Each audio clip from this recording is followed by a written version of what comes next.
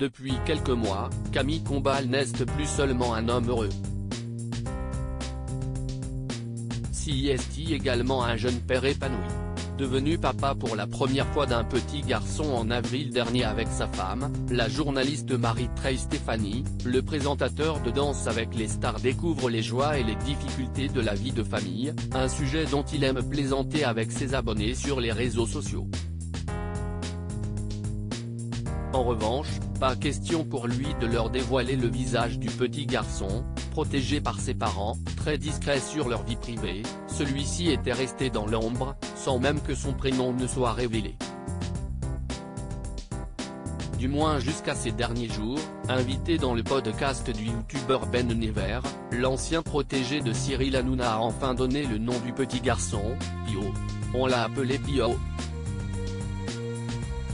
Et donc dès que tu dis Pio tout le monde dit ah oui comme Pio Marmaï, et ça si est très relou?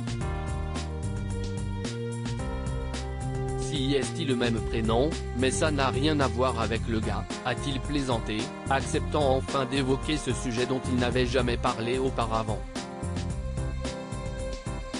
Alors, le magnifique prénom Pio serait-il une référence aux origines italiennes de l'heureuse maman? Il ne l'a pas précisé mais a ensuite dévoilé que le bambin n'aurait en réalité jamais dû s'appeler ainsi. Je n'aille pas choisi le prénom.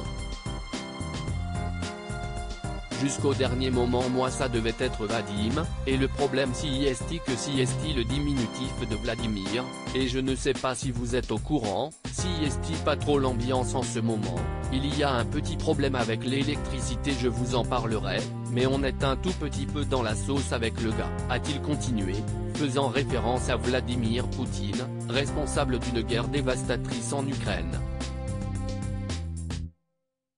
Une paternité qui change la vie. En tout cas, bien que la paternité soit un exercice qui semble convenir à Camille Combal, celui-ci sait que tout n'est pas toujours très glamour. Interrogé par Ben Never sur ce que ce nouveau statut de papa avait changé dans sa vie, le présentateur s'est montré très franc.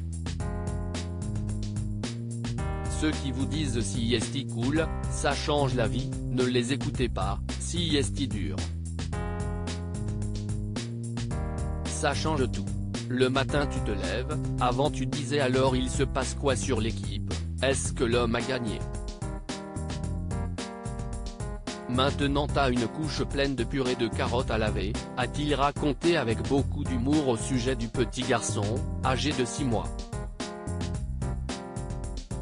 Peut-être a-t-il demandé conseil à ses collègues du studio 217 Chris Mark est en effet père d'un petit garçon, Jackson, âgé de 6 ans, tout comme Christophe Licata, dont l'adorable petit Livio est né en février 2017.